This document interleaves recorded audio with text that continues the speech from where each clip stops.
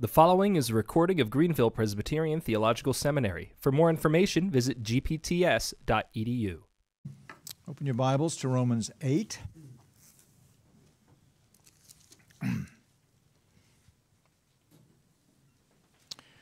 we'll read verses 18 through 30. For I consider that the sufferings of this present time are not worthy to be compared with the glory that is to be revealed to us. For the anxious longing of the creation waits eagerly for the re- revealing of the sons of God.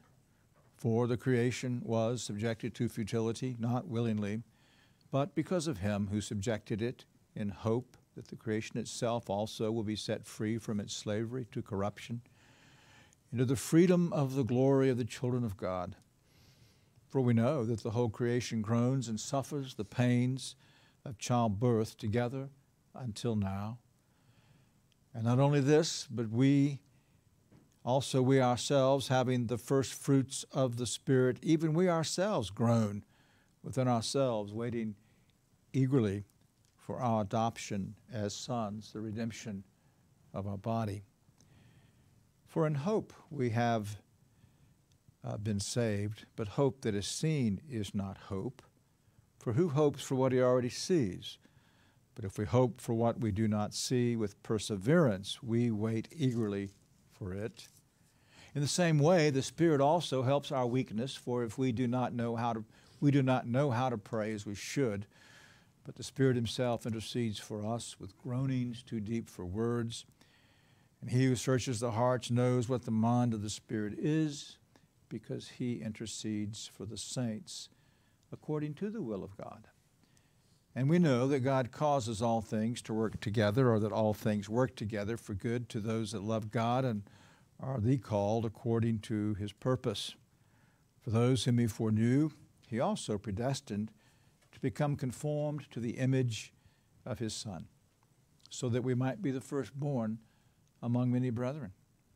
And these whom he predestined, so that he would be the firstborn among many brethren. And these whom he predestined, he also called. These whom he called, he also justified. And these whom he justified, he also glorified. Thus, the reading of God's word. You may be seated. a few weeks ago, I was watching um, a college basketball game, and the sportscaster was talking about a uh, particularly gifted young player who played way above his age with maturity. And so they explained how his father had reared him. His father was the basketball coach in the high school. He saw the potential in his son, so he kept him on a very rigorous schedule, such as getting him up at 3 o'clock in the morning at times to do a workout before he went to school, and then have to work out with the team that afternoon. Now, I'm sure that that young man did not enjoy getting up at 3 o'clock in the morning and doing a hard workout. I'm sure the extra pressure of balancing that uh, lack of sleep with his studies, um, but he, he would endure, he would persevere because he knew two things. He knew his father loved him, he knew his father had a purpose for him.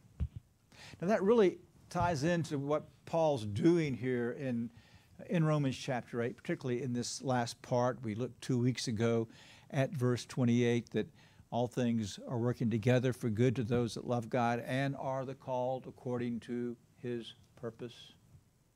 But what Paul's doing there is simply continuing to flesh out the theme they introduced in the end of verse 17. And that although we are heirs with Christ, that means that we are going to suffer with Christ, that we might enter into our glory in the same way that he entered into his glory. So, beginning then with verse 18, the apostle is dealing now with the trials of the heir. The trials of the heir. How is, how is God preparing his heir? Well, it's not dissimilar from how uh, a very wealthy man uh, would prepare his son to take over the business. If he's a smart man, he won't put him into places of leadership. He finishes a, a father designed university program and he goes to the mailroom. Then perhaps the maintenance department. There may be a salesman out on the road or uh, lower level management. And you know the heir did not appreciate all of those various things, but he was training him for the inheritance. And that's what Paul's showing us here. And so, first, he says, Look on the final inheritance. And he directs our attention that there is a greater glory. He illustrated that from the creation. Itself is, is manifesting to us that there's something beyond this, something that in some way the creation is groaning for. Then he points to us that we ourselves, with this sense of our adoption, know there's something more coming, there's something better. It's on the basis of that that he will say that in comparison to that, our trials here are momentary light afflictions. But we have hope, which is the certainty that comes from faith in God. He's our Father, and He has a purpose. Now, he turns his attention back to the Holy Spirit. And he's telling us that as we are in these trials, and I didn't probably link this as much as I've seen it in subsequent meditation, it is in our trials that the Spirit is particularly interceding for us. That we would profit from them.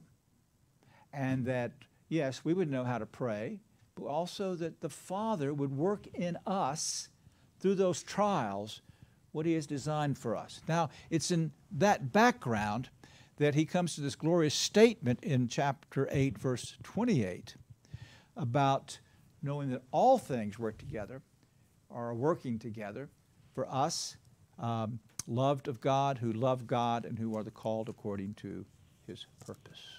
The Father loves us. He's the Father who has adopted us. And the Father has a purpose for us. And that's the foundation then of how we can look at our trials, yes, even at our sins.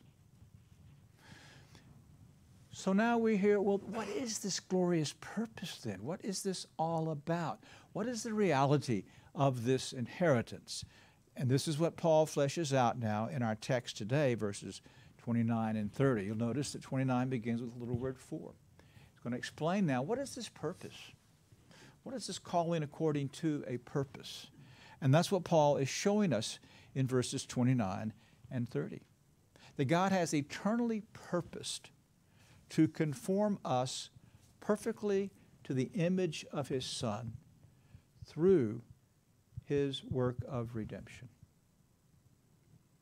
That God has eternally purposed to conform us perfectly to the image of His Son through His work of redemption. So I want to consider three, try to consider three things uh, today uh, from these verses the eternal purpose, the effectual procedure, and uh, the final product. So we begin uh, in verse 29 with the eternal purpose. So, what is this purpose for which we've been called that gives us the certainty that all things work together for good?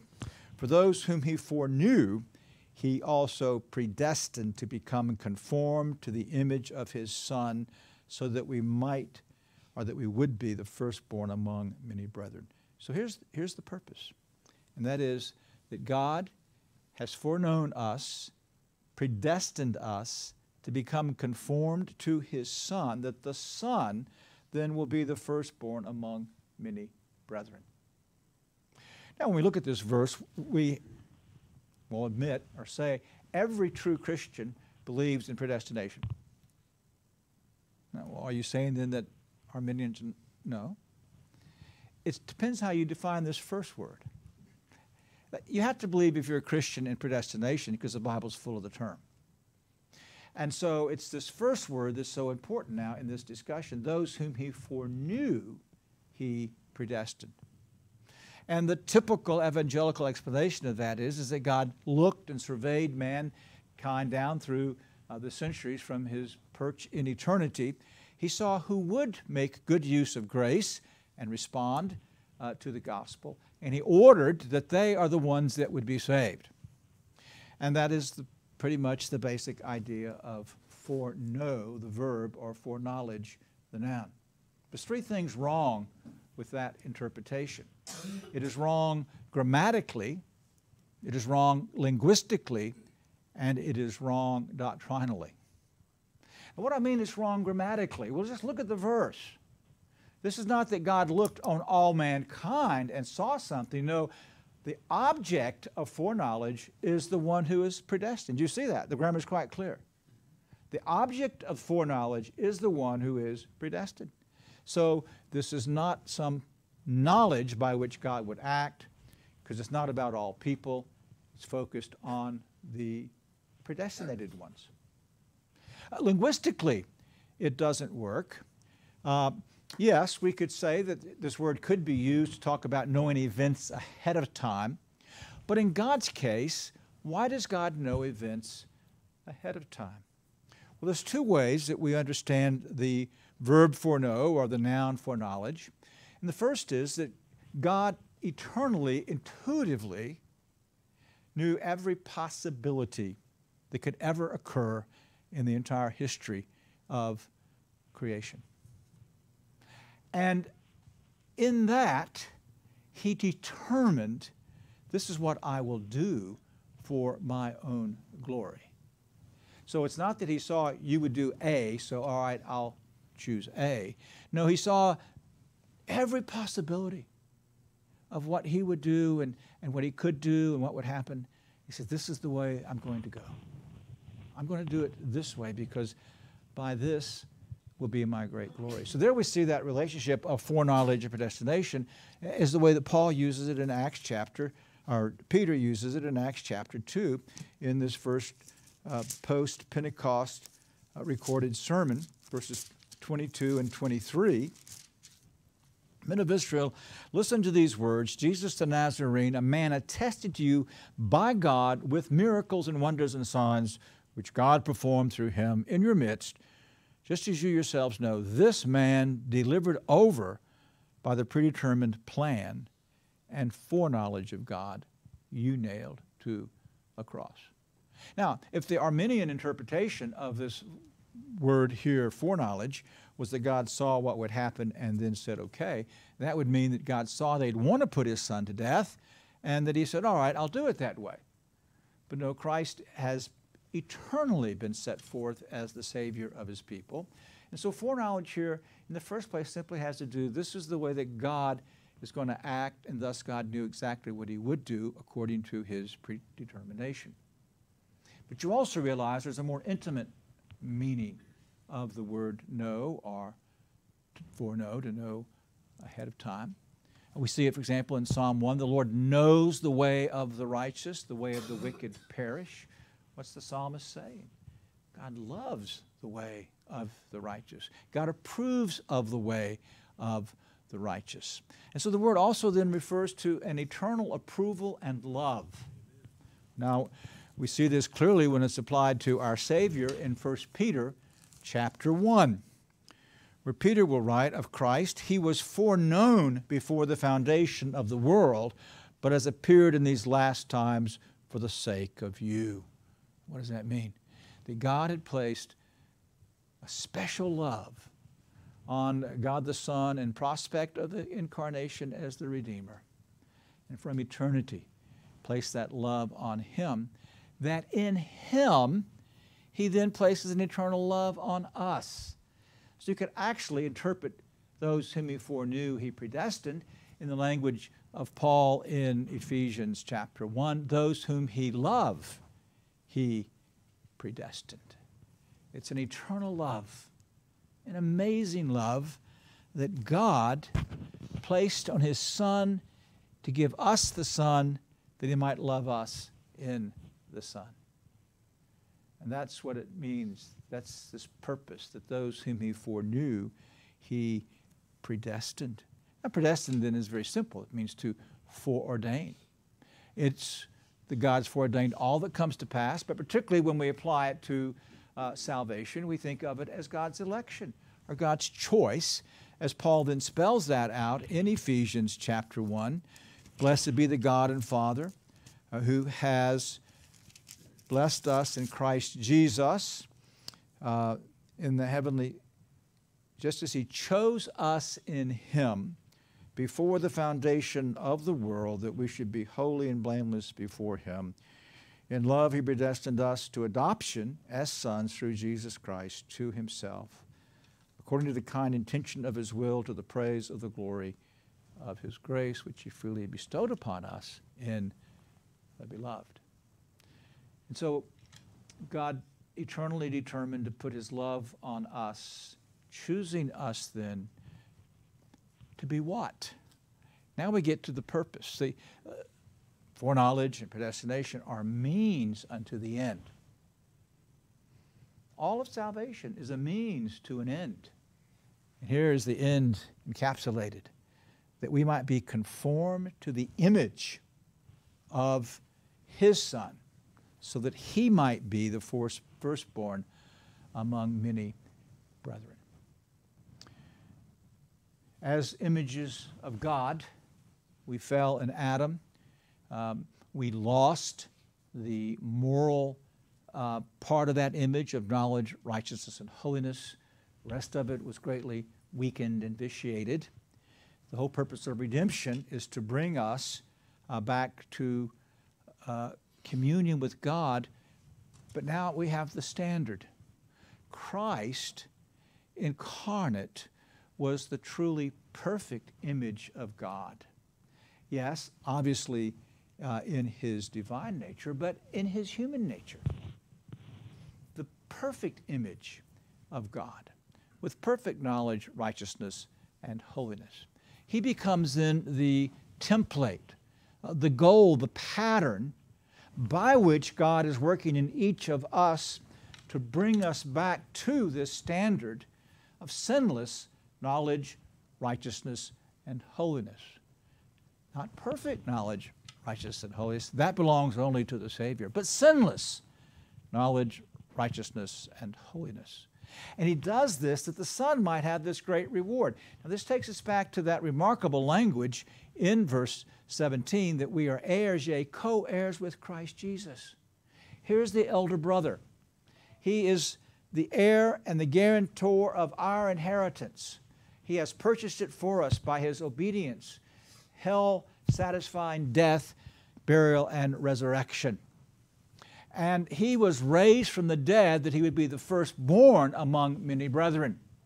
And his reward is that he's going to have the brethren, the brothers and sisters, that will be part of his inheritance as he enables us to enter into his inheritance.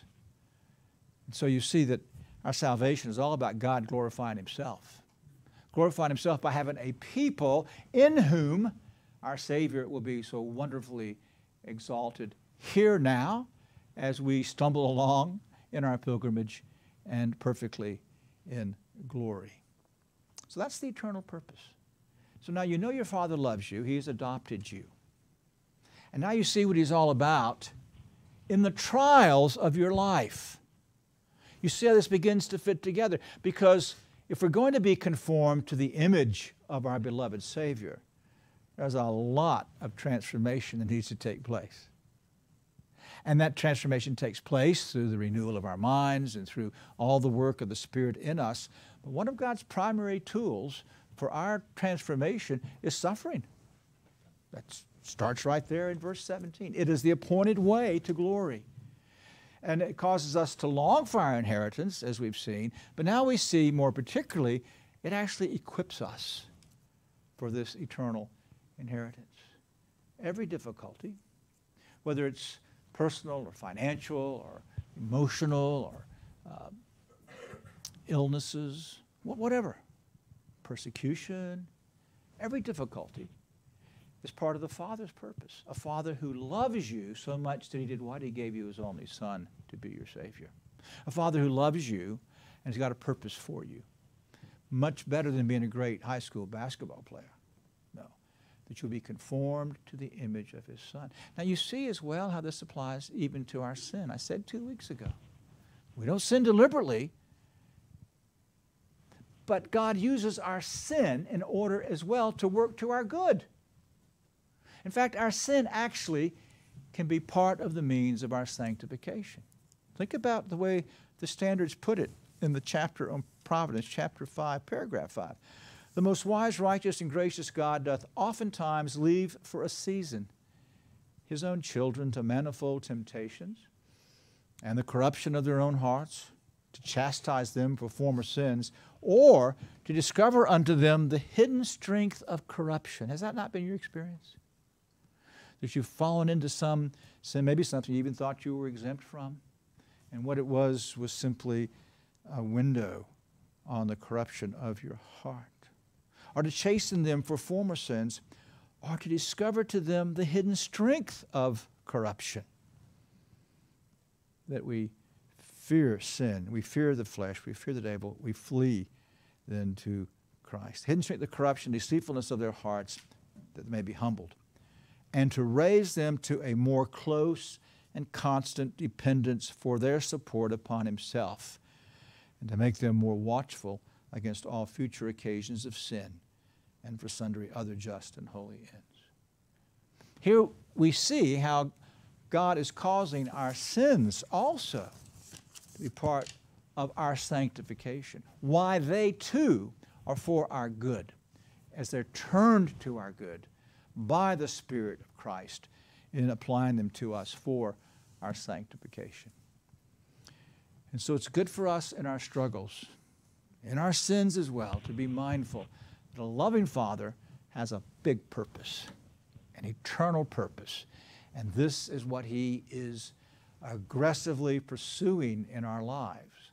So, how does He pursue this eternal purpose to cause us to conform perfectly to uh, the image of His Son? To what I'm calling the uh, effective procedure. This is a way of talking about, it's a way of giving you three P's so you can remember the sermon. So it's my way of talking, though, about the application of redemption. Now, what we have in Romans 8:30 is what Perkins called the golden chain of salvation. That's become pretty much the popular way since then to speak of it. One pole is in eternity, past. We can speak of eternity that way. Other pole is in our eternity that lies ahead of us. It's stretched out in this panoply that all those whom he predestinated, he did two things to in time effectively, effectually. So those whom he predestinated, he called, and those whom he uh, called, he justified. So here, Paul puts the two, we could say, principal acts of application to us in the converting, transforming process of conforming us to the image of his Son. So, in the first place, we must be called, and I said this is the effectual procedure, this is the effectual call. It takes place in the context of a broader, more general call. Our Savior refers to that. Many are called, but few are chosen. It's only the elect that are going to be called effectively. But it is so effective that all who are called will be glorified. Isn't that what Jesus says in John 6 44? That no man can come unto me unless the Father who sent me draws him, and I will raise him up on the last day. I was having a discussion one time with a group of pastors, and this was the question I asked what does the second half of that verse have to do with the first half? Everything. Everyone drawn by the Father is going to be glorified, which means this calling is an effectual calling, a sovereign calling. So as we read in Acts, the Lord opened Lydia's heart and she believed. Or in Pisidian Antioch, all those who were appointed to eternal life believed. This is the, the glorious call of the Father by the Word through the Spirit, but it's the Father who's calling us now to Himself to be His sons and daughters. The calling, coupled with it, regeneration, so that it becomes absolutely effective. And so, as God calls us, the Spirit is working secretly in our hearts to regenerate us. And we then most gladly respond to the Father's summons and take hold of Christ as He's offered to us in the gospel. That call includes then the exercise of faith. That's what it leads to, which leads as well to this living union with the Holy Spirit we've been talking about throughout this eighth chapter. All of this is at work here. We don't want to forget the things that Paul has said. And the first objective reality then of this call with the exercise of faith is going to be our justification. Now, the justification is absolutely necessary if we're going to be conformed perfectly to the image of Christ that he might be the firstborn. Because a guilty criminal cannot be conformed, cannot come into union or fellowship with Christ. So we know that in our justification, God does two things for us. He's pardoned all of our sins, past, present, and future. More importantly, He constitutes us legally righteous. Doesn't just commute the sentence, no, He pardons the criminal by having satisfied His justice in Christ's sacrificial death on the cross. These are the two great things that God's doing. In them, we can relate the whole process of the application of redemption. But you see, it cannot fail. The calling is effectual, justification then cannot be lost. It brings us to the final product. So, that God has eternally purposed to conform us to the image of His Son. We're actually going to come back now to the eternal purpose. For then the last part of the chain is that those whom He justified, He did what? He glorified. Now, you might say, where's sanctification? Well, here, sanctification is implied. You'll not be glorified if the process of conformity is not going on in your life, that which we call sanctification. And so you can't have glorification without sanctification. But the reason he jumps out of glorification is to show us the certainty of the reality of the promise and gives us a beautiful picture of what our glorification is. What is it? Perfect conformity to the image of the Lord Jesus Christ. That's what it is to be glorified.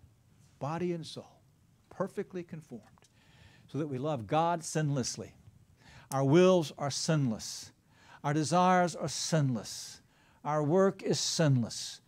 Never perfect, perfect in a finite way, but always able to grow in these things as finite creatures and to have our capacity for loving God to increase uh, eternity after eternity. But you see, this is, this is what God's doing. And you see, you can't lose your salvation. No, it's God's eternal purpose to conform you perfectly to the image of His Son through this work of redemption. All of these words are in the past tense those whom he justified. Paul wrote this a couple thousand years ago. He glorified. Why is it in the past tense? It cannot fail. It's God's eternal purpose. This should uh, anchor you in your assurance of salvation. This is God's work. It's not your work. If it was your work or my work, it surely would fail. I remember when I explained to my mother that I'd become a Christian, she says, Well, it'll be like everything else you've done, you'll never complete it. Now, from the world's point of view, that's exactly right. i have dabbled in all kinds of things by the time I was 13 years old. Uh, but you see, I didn't start it. And I didn't do it. And so 60 years later, God who begun a good work in me is bringing it to completion. And that's our comfort and our assurance. But it's also our comfort then in, in the struggles of our lives. It's all according to this master plan of a loving Father who has the most wonderful purpose in all, and that is to conform us perfectly to the image of His Son forever through this great work of redemption. Now, if this is God's purpose then in our Christian living, what should our purpose be? That the Son be glorified in us. That by God's grace we reflect Him now in our thoughts, in our speech, in our actions. That we would plead with God to make us uh, more conformed now to the image of the Son. The people now would see the Son in us that now the Son would be glorified in our lives, that our purpose will be right in line with God's purpose. Let us pray. Lord, we thank you for parting the veil, showing us here what it is that you're about in redemption, but in our lives personally. We pray for a great comfort, Lord, for your people. and that we will delight in you and in your plan, which means that we can rejoice in all things. And we pray, Lord, you will work out in our lives all things as you have promised, unto the end, not only that we will anticipate glory, but you'll prepare us for glory. For Christ's sake. Amen. Thank you for tuning in to this production of Greenville Presbyterian Theological Seminary. For more information, please visit gpts.edu.